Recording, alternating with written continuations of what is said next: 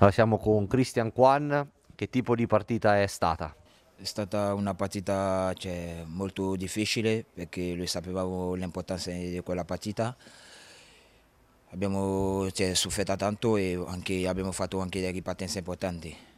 Abbiamo portato a casa tre punti, era la cosa importante. Grazie.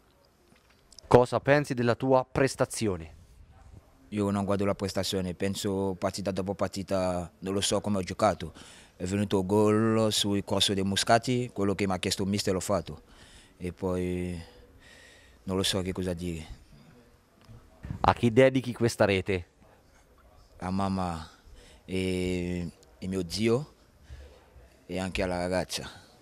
Sì, le prossime, come lei le ha detto, cioè, sono partite molto importanti e possiamo dire sono i big match della Serie B, poi cioè, speriamo che cioè, dobbiamo fare una prestazione per portare in casa i putti, è la cosa fondamentale.